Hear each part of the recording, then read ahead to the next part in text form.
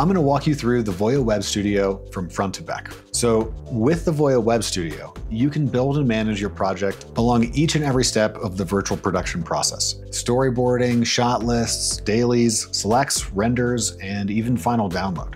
First things first, head over to studio.voia.com and here's where we're gonna build our project. So first thing you're gonna wanna to do to start a project is click Create from Scratch. Now name your project. After you have your project built and ready to go, you want to click into it, and here's where you're going to see the pipeline. Storyboard, shot list, dailies, render, export. It's also where you're going to build the heart of your content, starting with your scenes and then breaking down your shots in each one of those scenes. This is also where you're going to select your environment, whether that's pulling from the existing Voia library or you're bringing in a custom environment that you've built yourself from Blender. All right, so my first scene, I'm going to say is scene one. It's very original and it's risky, but I think you'll go with me on it. So after you've labeled your scene, you can jump in and break down your shots. So for shot one, you're gonna see an option to upload an image, add the description, and add a location. All right, so if you've already worked with the storyboarding tool, you can jump in here and add your cells. So I'm gonna pull something in that I found online from Studio Binder. So you can also add your description in here, and this is where you're gonna pick that location. So in my description, I'm gonna say, this is a man who looks like a Steven, and uh, I'm gonna say that he is kicking towards camera. So once you've added in your storyboard cell and you've added your description, you can add your location. So this is where you can pull from existing uh, environments from our Voia library or if you're creating your own or bringing something in from Blender, you can have at it, load it in here, and that again is in that separate video. So for this, I'm gonna do a nice sun-drenched island bar. And I have a second shot that I'm gonna go and upload. And I'm gonna say this is my shot two for the day. So do the same thing.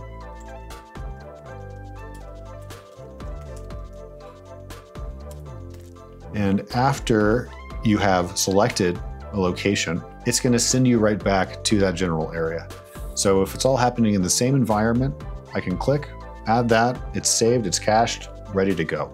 Okay, so I have my shot one, shot two in my scene one. Now I'm ready to go over to shot list and drag and drop in the arrangement that I want to film in the day of. So it's kind of a helpful scheduling tool, but it's also just helpful for logistics, thinking about how do you want to film things and what's the best order in which to shoot them.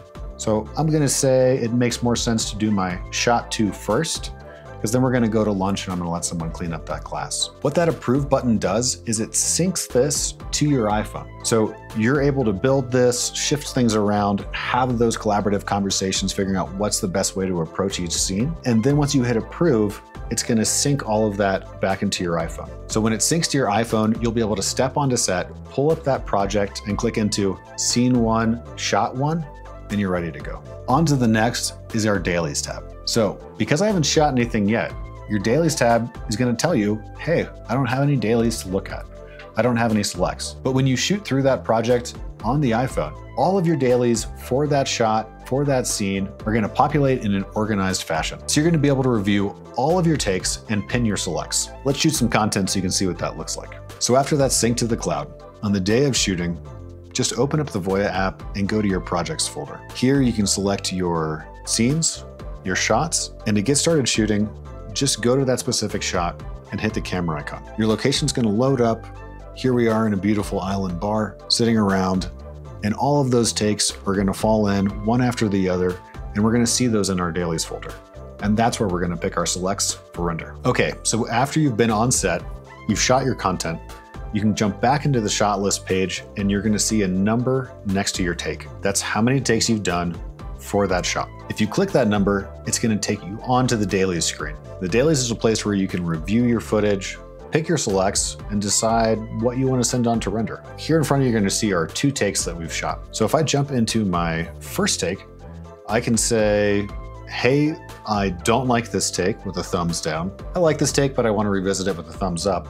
Along the way, you can also set your in to out points as you're reviewing content. If I want to watch through my take and decide, okay, I don't necessarily need the slate for the render, I don't necessarily need the heads. I can move in my in point, so now I'm starting at five seconds in.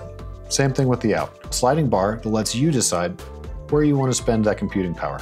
Okay, so now I have super liked this. I've set my in to out points. I'm ready to move on to the render screen. All right, so we want to jump out of here, move on to our renders page.